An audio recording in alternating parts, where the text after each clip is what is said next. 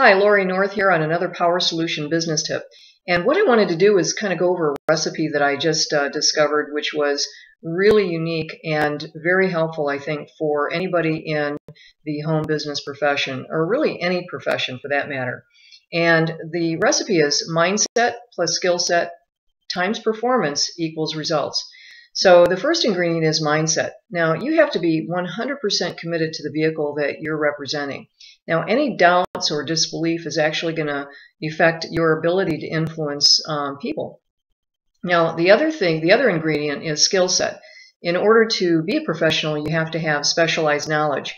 And in the home business profession, if you're also planning to make 100% of your income uh, online and from home, you do have to know copywriting. You also have to know how to video market, and you also have to know how to recruit people.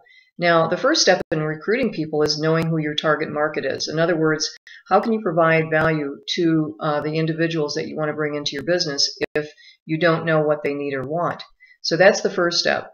And basically, what you're wanting to do is anything that you're offering has to have the perception to the people that you're bringing in as faster, easier, and cooler.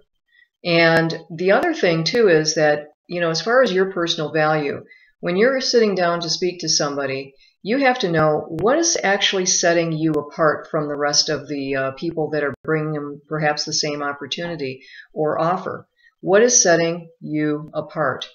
And the last ingredient is, of course, performance. So one of the things that you know you got to do is take daily, consistent action.